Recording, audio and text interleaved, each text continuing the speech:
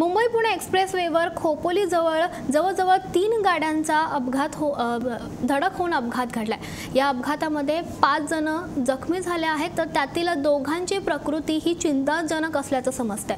Mercedes truck आणि tempo या तिघांमध्ये धडक झाल्यानं हा अपघात झालाय.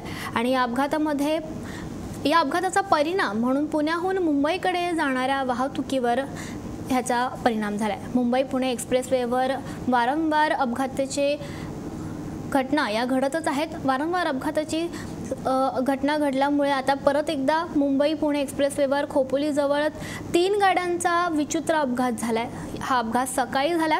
या अपघातामध्ये पाच जण जखमी झालेत आणि त्यापैकी दोघांची प्रकृती ही चिंताजनक असल्याचं समजतं आहे मर्सिडीज ट्रक आणि टेम्पो या तिघांमध्ये धडक झाल्यानं हा अपघात झाला आहे मात्र या अपघातामुळे पुण्याहून मुंबईकडे जाणारी वाहतूक सध्या ठप्प आहे.